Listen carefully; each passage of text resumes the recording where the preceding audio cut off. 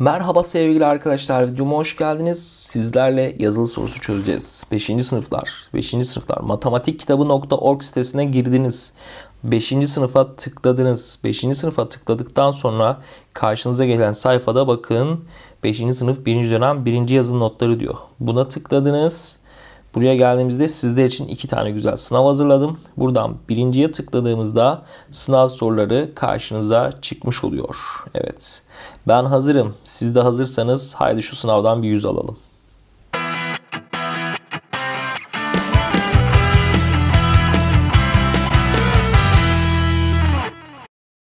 Evet sevgili arkadaşlar şimdi 5. sınıf 1. sınavımıza başlıyoruz. Sizler için iki sınav hazırladım. Bu birincisi. Şimdi birinci soruyla bakıyorum. Aşağıda okunuşları verilen diyor. Doğal sayıları rakam kullanarak yazınız demiş. Hemen ve 10 puanı kapın demiş.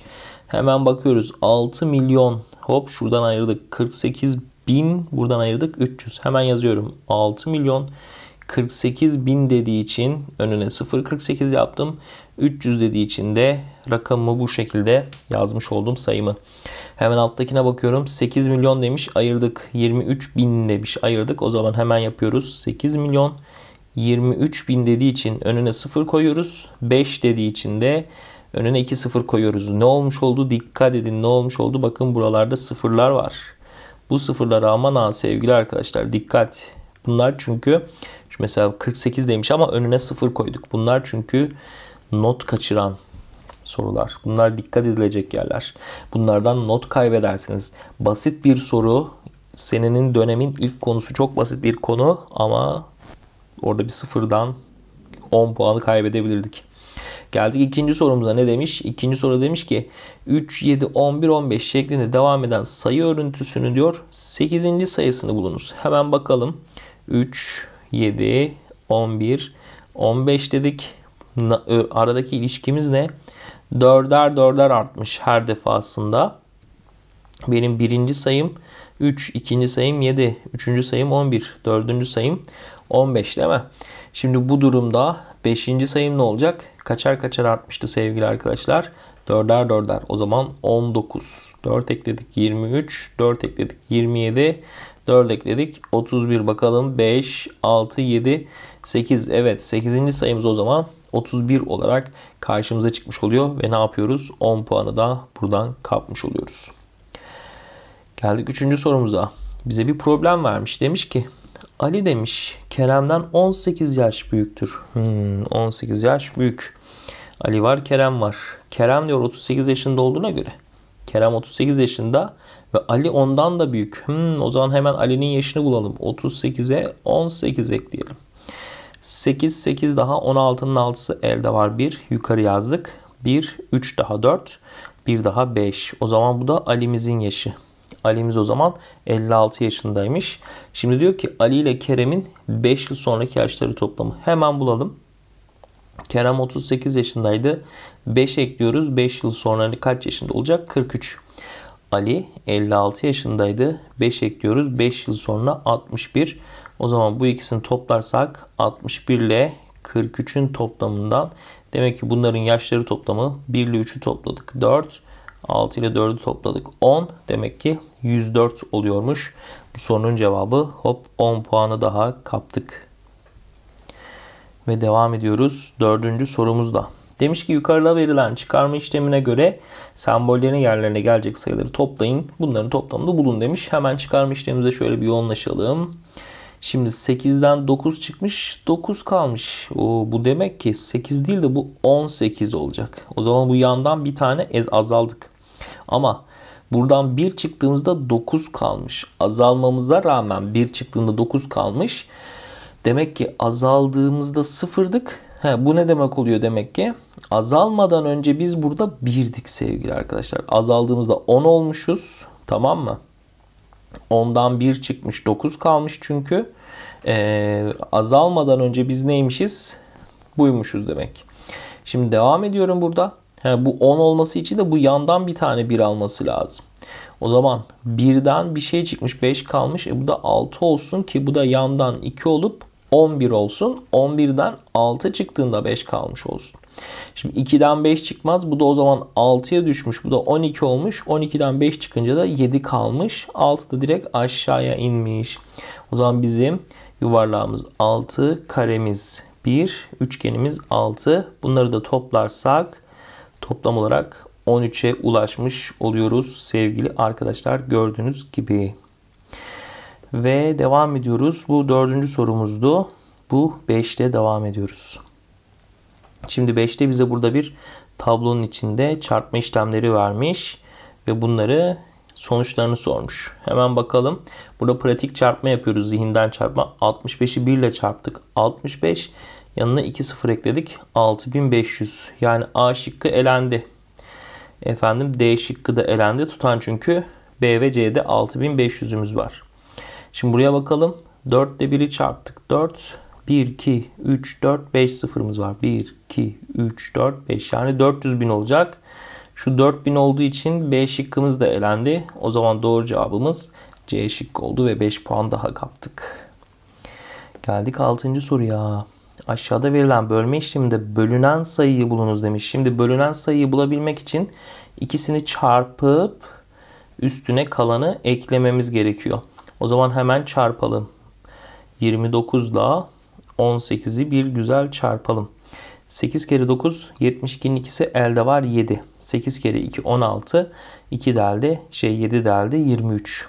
1 ile çarpmak en sevdiğim. 1 kere 9 9. 1 kere 2 2. Hemen toplayalım burayı. 2. 9 3 daha 12'nin ikisi elde var 1. 2 2 daha 4 1 daha 5. Sayımız ne oldu? 522 ama kalanımızda 10. 522 o zaman 10 eklersek demek ki bizim Cevabımız 532'ymiş. Doğru cevap 532 olarak karşımıza çıkmış oluyor sevgili arkadaşlar. Ve ilk sayfada bir sorumuz daha varmış. Bölme işlemi vermiş bize. Evet güzel süperiz. Şimdi bölme işleminde sayımız iki basamaklı olduğu için hemen ilk iki basamakta arayacağız. Yani 87'nin içinde 25'i arayacağız. 87'nin içinde 25 3 defa vardır. 3 kere 5 15'in 5'i elde var 1. 3 kere 2 6 1 de elde 7. O zaman hemen burayı çıkartırsak buradan 2 kalır. Buradan 1 12 kalmış oldu. Hemen 6 indiriyorum aşağı. Sayımız 126. 126'da 25 kaç defa vardır? Şimdi burada belki yorum yapamayabiliriz. Hemen 125'i mesela ne yapabilirsin? Burada bu 126'yı 130 deyip 25'i de 30 dersen kaç defa var? Yaklaşık 4 defa var. Ama son basamaktan ötürü ben bunu 5 olarak denemek istiyorum. Nasıl son basamaktan ötürü? 5 kere 5 25'in 5'i elde var. 2 5 kere 2 10 2 de elde 12 görmüş olduğunuz gibi bu şekilde bir kendim bir tahmin yürüttüm. 5 değerini tahmin ettim ve tahminim e, tutmuş oldu. Neden? Çünkü kalanım 1. Hemen şuralar 0 oldu. Şimdi bura kritik bak. Bak buraya dikkat. Ne yapacağım şimdi? 1'i indiriyorum. 1'i indirdim. Sayı kim oldu? 11. Burada bitti mi bölme işlemi? Hayır. Şimdi bunun içinde de 25'i arayacağım. 11'in içinde 25 var mı? Yok. Yoksa ne olacak? Yoksa matematikte sıfırdır bu. O zaman kalanımız 11. Bölümümüz 350 olacak şekilde kalanlı bir bölme işlemiyle karşılaşmış oluyoruz bu soruda. Ve 10 puan cepte oluyor. Geldik 8. sorumuza. Aşağıda diyor çıkarma işlemini yapınız. Haydi dikkatli bir şekilde yapalım. Şimdi 1'den 0 çıktı. 1 en sevdiğim çıkarma işlemi. Şimdi 2'den 3 çıkmaz. Hemen şuradan aldık. 4 şu da oldu 12. 12'den 3 çıktı 9. Güzel.